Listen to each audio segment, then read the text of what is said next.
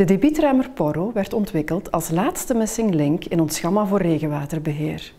Zo beschikken we nu over kwalitatief hoogstaande, maar toch economisch betaalbare decentrale oplossingen in de gehele range van de ladder van Lansink, zijnde buffering met aangepaste filtering, hergebruik, infiltratie en vertraagd afvoeren.